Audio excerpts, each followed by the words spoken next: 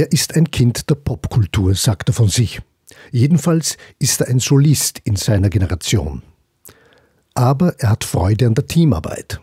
Einst mit Lukas und Willi Resitaritz in der Musik und später im Tanztheater, das Roman Scheidel mit seinem Tuschpinsel spontan kommentiert und zu einem eigenen Genre für Tanz, Malerei, Musik, Tamamu erweitert hat. Aber ich, ich denke nicht weiter darüber nach. Nicht? Ich mache es eher nach ästhetischen Momenten, dass das ein gewisses Gleichgewicht kriegt. Und braucht vielleicht auch noch was und fertig. Nicht? Und wenn ich es raufschiebe, ein Stückchen, nicht, dann muss ich da wieder anschließen. Dann denke ich mir, naja, was mache ich jetzt? Dann mache ich halt eine große Figur hin, die sich streckt. Also es ist eigentlich wie im, wie im Schlaf. Und das, denke ich, hat schon mit dem ursprünglich mit dem Theater zu tun. In seinen Bildern speichert er Reisen und Erlebnisse in Paris, in der Schweiz und nicht zuletzt und vor allem in Asien, für dessen Philosophie und Kultur sich Roman Scheidel begeistert. Ja, die Zeichnungen sind eigentlich entstanden dadurch, dass ich zum Geburtstag von Hokusai, das ist ein japanischer Holzschneider, Manga-Bücher, das heißt Skizzenbücher, Originale, geschenkt bekommen habe. Und das war so, die waren so wunderbar wieder und haben so gewirkt auf mich, dass ich mir gedacht habe, ich will auch sowas, ich will auch Mangas. Roman Scheidel schöpft aus einem großen Fundus an Motiven. Viele begleiten ihn durch sein Werk.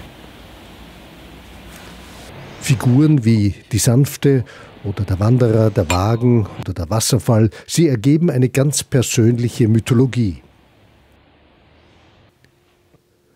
Sie sind ein bewegliches Repertoire, das sich immer neu findet. Und durch diese Zusammenfügung entstehen ganz neue Bilder und die sind dann auch auf die Malerei übergesprungen. Malerei und Zeichnung, Farbgrund und Tusche.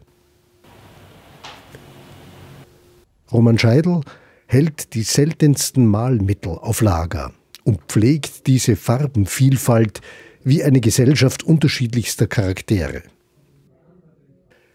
In seinem großen Atelier in Wien stehen sie, die gelben, roten und blauen Maltische, Grundfarben, wie sie seit dem Mittelalter verstanden werden.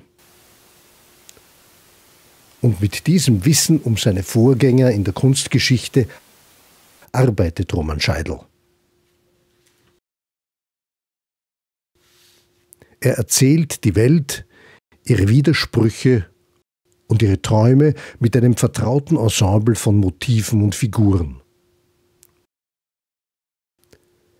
Er nimmt die Welt als Chronist wahr, liest, beobachtet und notiert in Tagebüchern und verwandelt sie dann in den Themen seiner Bilder.